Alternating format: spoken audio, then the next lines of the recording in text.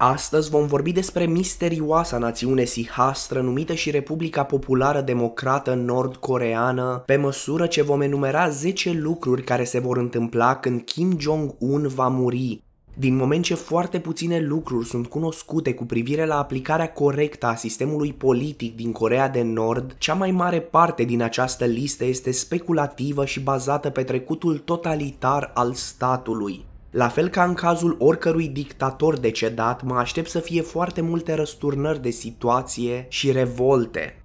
10. Ar fi ținut secret pentru o vreme. Când tatăl liderului suprem actual, Kim Jong-il, a murit în luna decembrie 2011, mass media de stat a raportat situația la două zile sau mai exact 51 de ore mai târziu.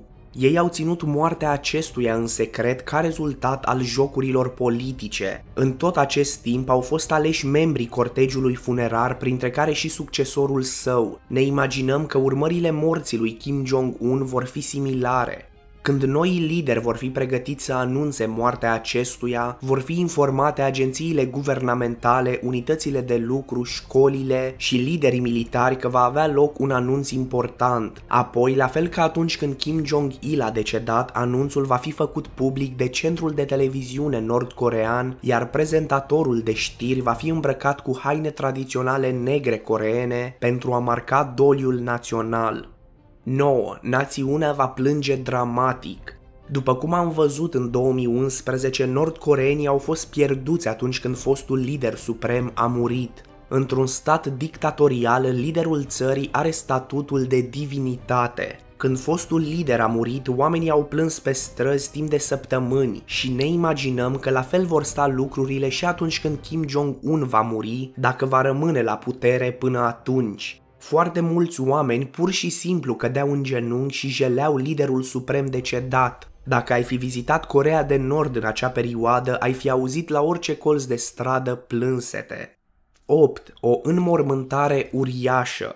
La fel ca în cazul lui Kim Jong-il, va avea loc o înmormântare uriașă. Cel mai probabil, trupul neînsuflețit al lui Kim Jong-un va fi expus o săptămână în palatul memorial Kum Susan, conform tradiției nord-coreene. După o săptămână sau 10 zile va avea loc înmormântarea liderului sau după cum se numește în Corea de Nord ceremonia de despărțire. Oamenii vor ieși în stradă de dimineață și se vor organiza în coloane, după care va urma un salut prin salve de artilerie și 3 minute de liniște. Indiciile despre cine va fi următorul lider suprem vor fi cel mai probabil evidențiate în timpul înmormântării. De exemplu, atunci când tatăl său a murit, Kim Jong-un se afla în fața celor 233 de oameni aleși să participe la cortegiul funerar. 7. Corea de Sud va fi în alertă. La fel ca atunci când Kim Jong-il a decedat, armata Coreei de Sud va fi pusă în maximă alertă. Cel mai probabil, președintele Coreei de Sud din acea perioadă va anula orice altă acțiune și va concentra toată forța militară asupra vecinilor din nord pentru că menținerea stabilității peninsulei coreene va fi pe primul loc.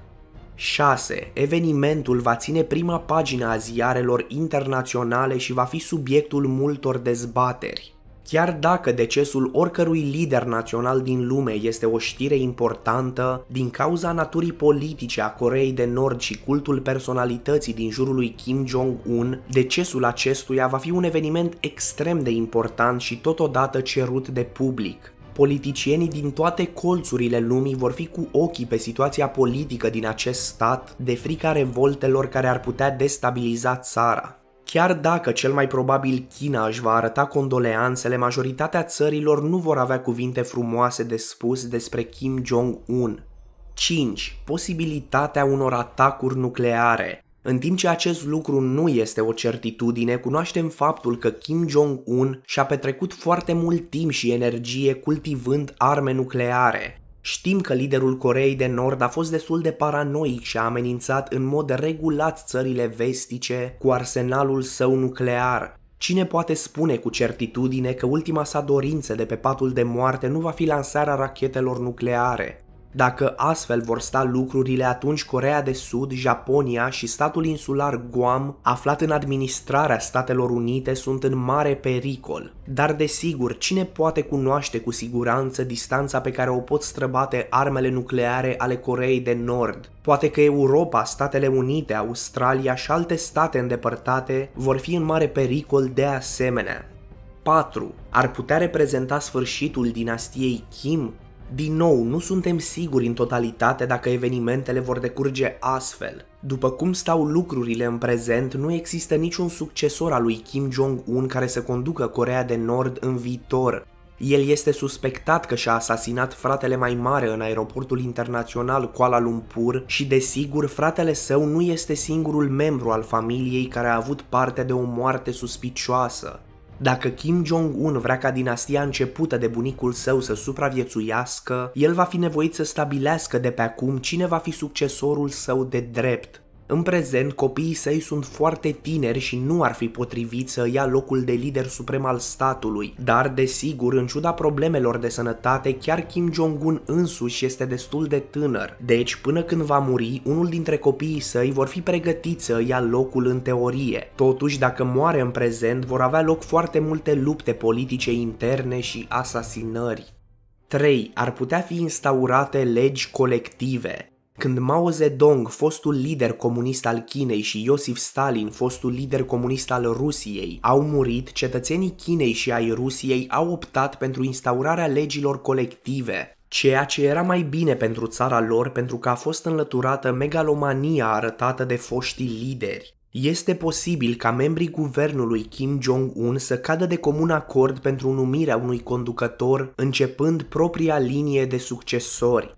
Totuși, dacă un succesor nu va fi numit de liderul suprem actual, cea de-a doua idee prezentată în acest subpunct va deveni cel mai probabil realitate.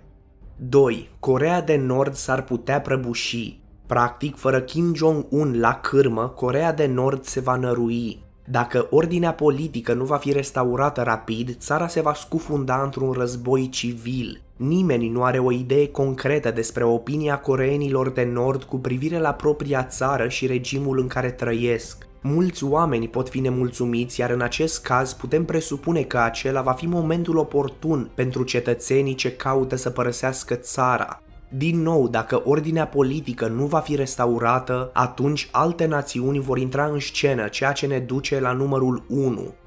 1. În cele din urmă, probabil cea mai bună urmare a morții lui Kim Jong-un ar putea fi unirea Coreei. Au fost mai multe încercări eșuate de reunificare a statelor coreene în trecut, cu toate că cele două națiuni au culturi complet diferite. A avut loc și un marș al reunificării Coreei la Jocurile Olimpice de iarnă din 2018, deci poate totul este posibil.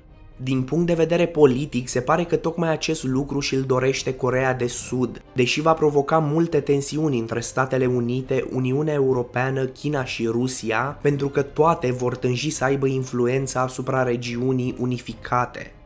Acestea sunt 10 lucruri despre care noi credem că se vor întâmpla când Kim Jong-un va muri.